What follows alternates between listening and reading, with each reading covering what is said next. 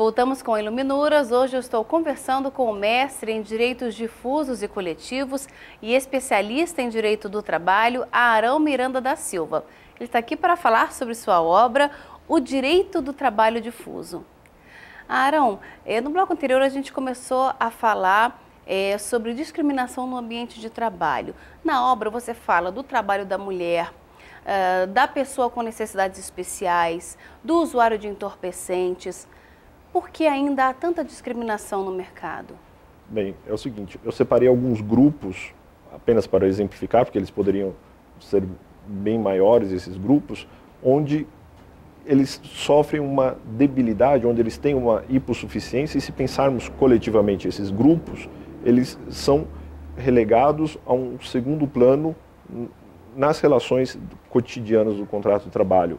Então, o próprio mercado acaba por excluir, exemplo, o negro, uhum. o aidético, a, o, o trabalhador eventualmente analfabeto, a mulher, a gestante. Então, esses grupos, socialmente, nós temos a identificação deles como não tendo acesso ao mercado de trabalho, ao mercado formal, né? Uhum. não tendo acesso às mesmas condições de trabalho, ao, ao, ambiente sadio e adequado. Então, por isso é necessário, eventualmente, desenvolver e pensar tanto políticas públicas e sociais quanto ações judiciais para afirmar os direitos desses trabalhadores, equiparando eles aos demais trabalhadores dentro do, do, do contrato de trabalho e do ambiente de trabalho. Agora, pode haver discriminação mesmo antes da contratação do trabalhador, não é? Exatamente. A discriminação pode ocorrer numa fase pré-contratual, durante o contrato e numa fase pós-contratual.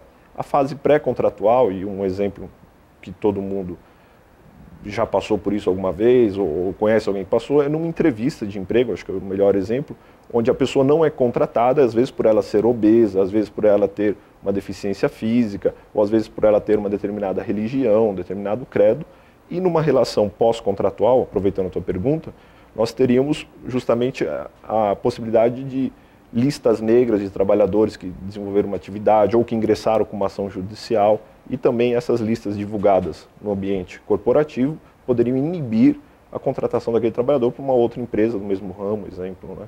Então, todas essas questões merecem uma tutela difusa.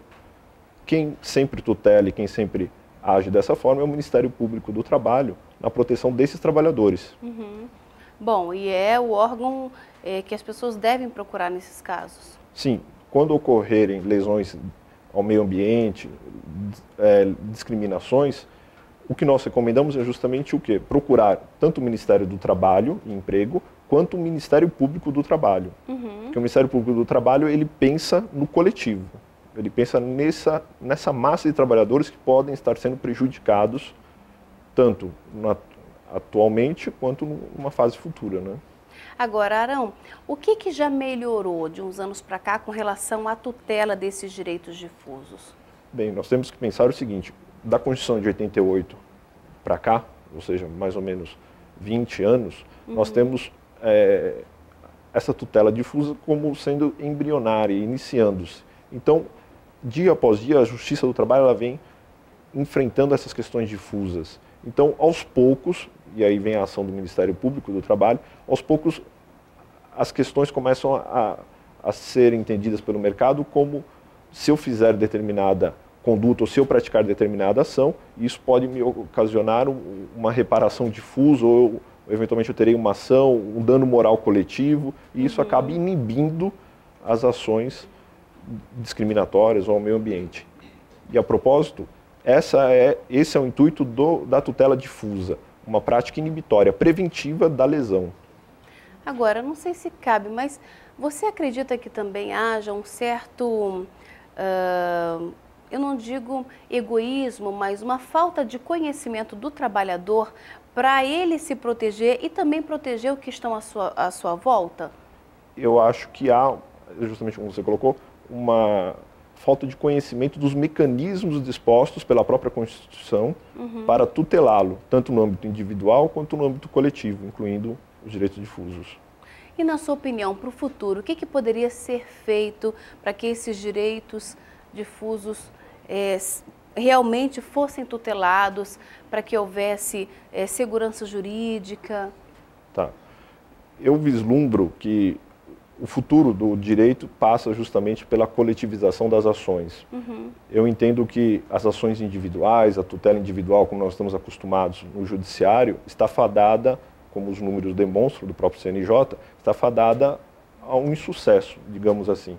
Lógico, as lesões individuais continuarão a existir, mas essa tutela preventiva e a tutela coletiva como um todo, ela se demonstra como um meio para que o, trabalhador, e no caso o ser humano, ele possa se afirmar como cidadão. Uhum. E aí, partindo desse coletivo, de uma tutela coletiva, nós estamos abrangendo trabalhador X, Y, mas sim uma massa, um todo, equiparando esses direitos de todos e tendo aí um direito do trabalho mínimo, que seria justamente o quê? Aqueles direitos que estão lá no rol do artigo 7 da Constituição, ou os direitos sociais que estão lá no artigo 6 e aqueles direitos para todos, uhum. como direitos mínimo, piso vital mínimo para todos. Arão, muito obrigada pela sua presença e parabéns pelo livro. Eu que agradeço, à disposição.